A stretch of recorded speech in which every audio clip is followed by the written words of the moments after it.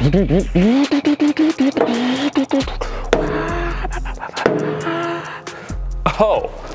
how's it going guys? Welcome back to another video on Drift Truck V2. As you might have just seen, today we're gonna be working on the steering mostly. But in order to do the steering, we have to put the dash in, we have to put the seats in, so we're really getting the interior all set up.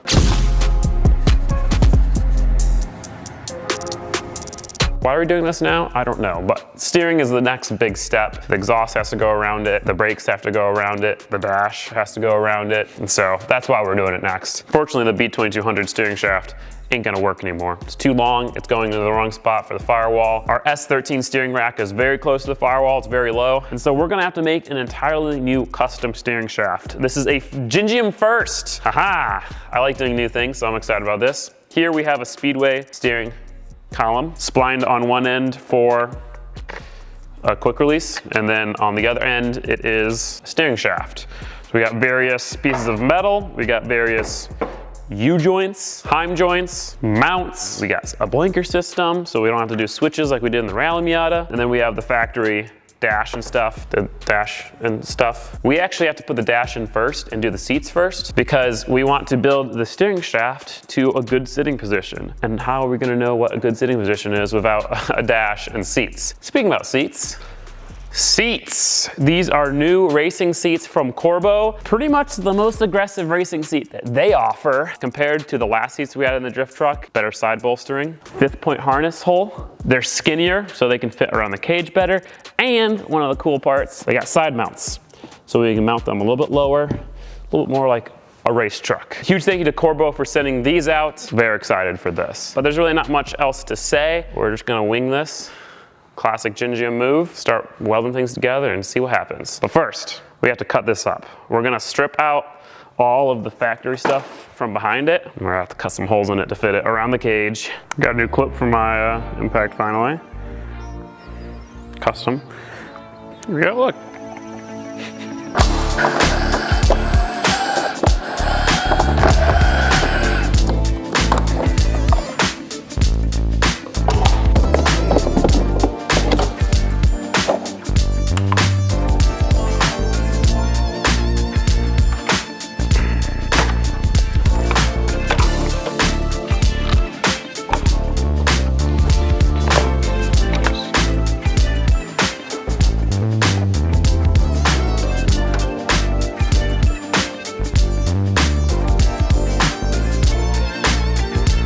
So I took everything out of the back. I am gonna be keeping the defrost because pretty much what we're gonna be doing is we're gonna be using a aftermarket separate heater core and pretty much deleting all of the HVAC controls on the front here and replacing it with a cool radio, bunch of switches. The, the goal for the interior and the truck in general is to be like race car, but with all the streetability stuff. So it's cool like a race car, but it doesn't suck to drive on the street. The best of both worlds. Anyway, let's try to fit this now.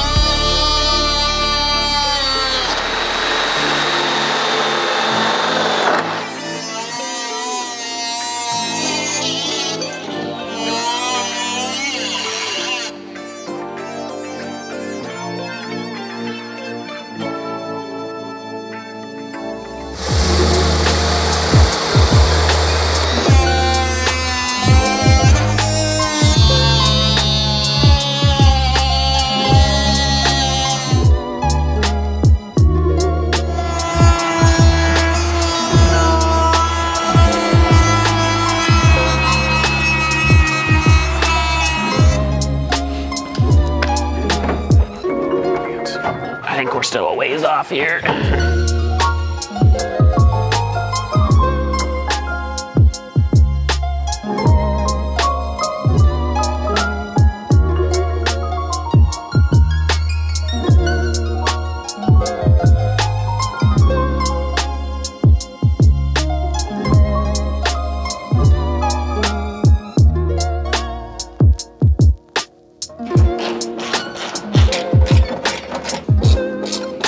The dash is in there. It's fitting great now, but obviously that's not gonna be very good while drifting. So we're gonna go ahead and have to make some new mounts for it. Obviously we had to cut the old ones off to clear the dash bar here. Ha, that's a good feeling.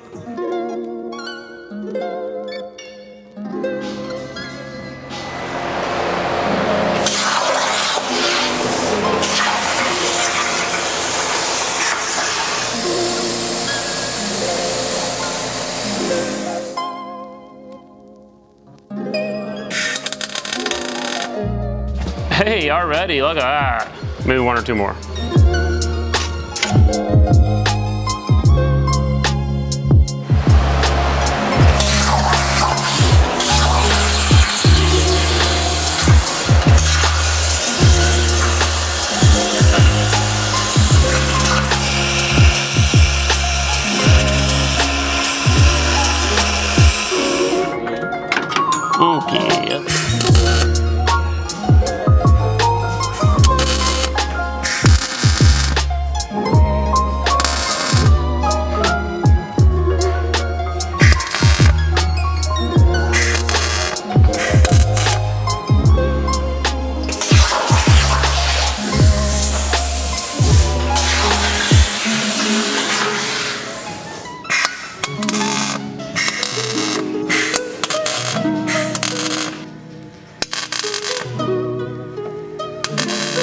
So I got the, the dash better mounted, as you can tell, nice and, you know, probably OEM sturdiness.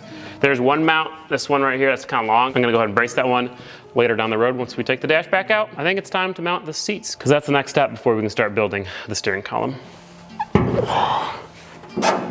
Feels very tight. Um, needs to be leaned back a little bit. See, you know what stinks? This goddamn sideways bar that is getting in the way of the seat. Who knew that was gonna happen? Yeah, I mean, that'll be, that'll be good, good enough. Which might be a little challenge fitting the pedals. Steering is, you know, neutral.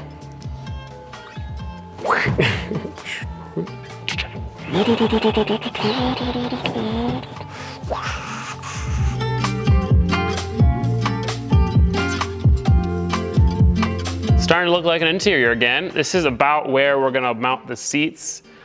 Fortunately, it's as good as it's gonna get because it's a dang bar up there. It is, it's decent. It's definitely farther forward than I was hoping for. And I definitely regret putting that bar up there because it's not gonna make a tech difference, but is what we got to work with, so here we are. Should be pretty good. Shifter's right there. Shifter's in a good spot. We can make a cool little extendo or something. Now we gotta mount these things.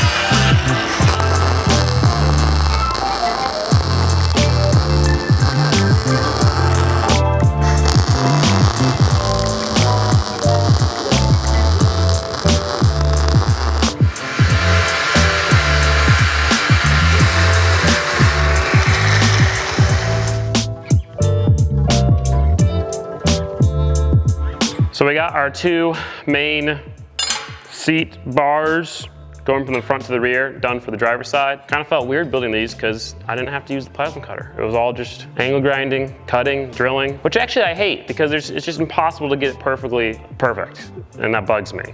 Like that hole is not centered around the bevel and the bevel is not perfectly circular and it's a little crooked and but hey, it's still better than what I've done in the past, so that is what it is. We're gonna put these in weld a crossbar, and then it's, it's time to plasma cut some stuff.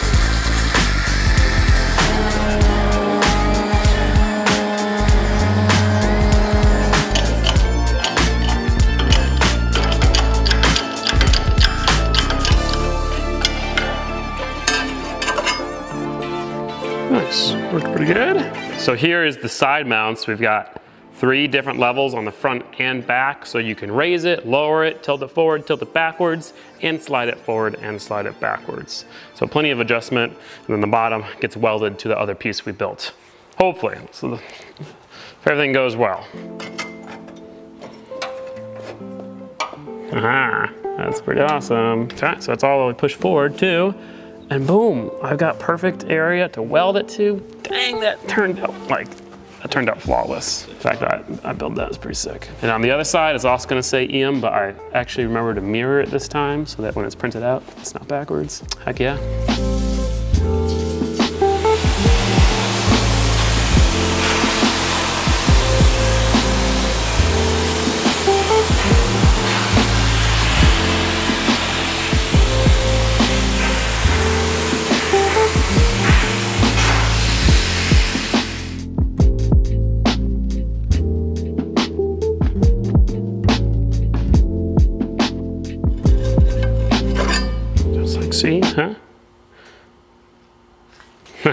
Gotcha. Even before it's welded in, it's already solidly mounted because of um,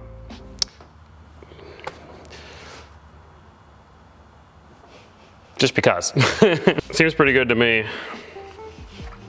Do I look short? I wouldn't want to be any taller, just put it that way. I mean, I can see the supercharger from where I'm sitting. So uh, the goal is to do this without uh, catching the seat on fire or melting holes into it.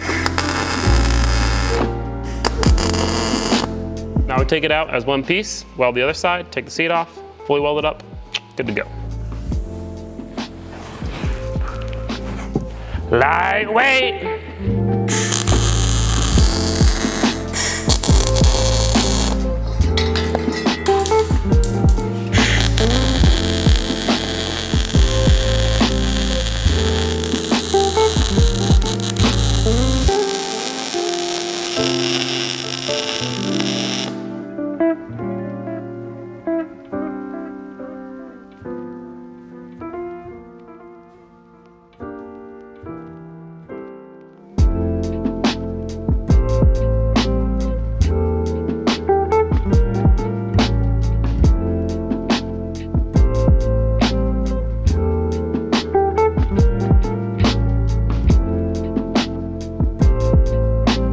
So we uh, finally have both of our seats in here.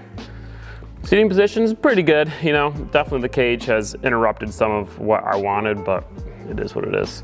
Now we can finally get started on the actual steering shaft. But that is going to be in the next video. I'm sorry, I hate to do this to you guys, but I've got so much more content on the steering shaft. It was just impossible to fit it all into this one video. It would have been like an hour long, which I'm sure some of you would have liked that but not me. Anyway, I do hope you enjoyed this video. I'm so excited about how this truck is turning out. I'll see you guys in the next video. Thank you so much for watching. If you do want to support the channel, you can check out Patreon or check out the merchandise and have a great day. Bye-bye.